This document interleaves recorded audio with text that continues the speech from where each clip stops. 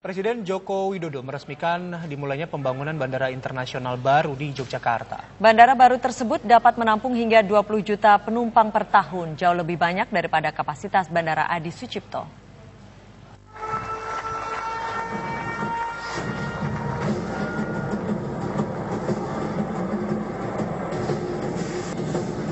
Maret dua tahun lagi dijanjikan sebagai target waktu selesainya pembangunan tahap pertama sekaligus operasional pembangunan Bandar Udara Internasional baru Yogyakarta.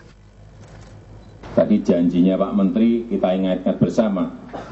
Janjinya Maret 2019. Saya ingat terus loh Pak. Biar kerjanya siang malam. Nanti kalau nggak diingat-ingat nanti nggak dicek, nggak dikontrol, tahu-tahu Maret nggak selesai. Maret selesai, udah. Nggak tahu kerjanya mau siang malam sampai pagi, tapi janjiannya tadi saya catat ini di sini.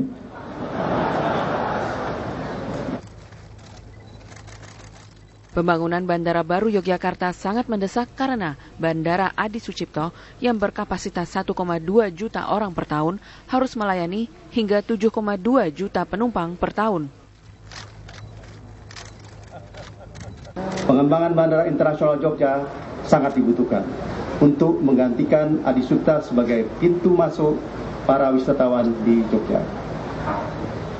Pengembangan fasilitas Bandara Internasional Jogja yang akan dilakukan yaitu pada tahap awal membangun landas pacu sepanjang 3.250 dengan lebar 60. Tahap kedua akan diperpanjang menjadi 360, 3.600. Bandara Internasional Baru Yogyakarta berlokasi di Desa Jangkaran, Kecamatan Temon, Kabupaten Kulon Progo. Bandara Internasional Yogyakarta yang baru dengan nilai investasi 9,3 triliun rupiah akan mampu menampung hingga 15 juta penumpang per tahun di pembangunan tahap pertama dan akan mampu menampung total 20 juta penumpang jika seluruh proyek pembangunannya selesai. Dari Kulon Progo, Daerah Istimewa Yogyakarta, Putut Karangjati, TV One mengabarkan.